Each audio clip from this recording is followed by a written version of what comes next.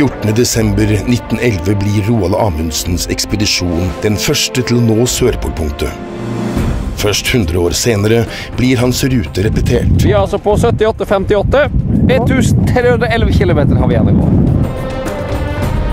Med Amundsens loggbok og dagbøker som teltlektyre følger jubileumsekspedisjonen med Stein P. Aasheim, Vegard Ulvang, Harald Dag Gjølle og Jan Gunnar Winther i pionerenes gjenblåste skispor.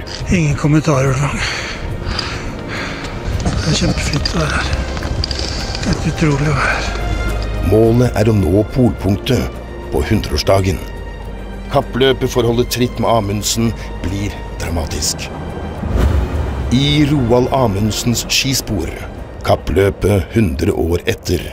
I salg nå.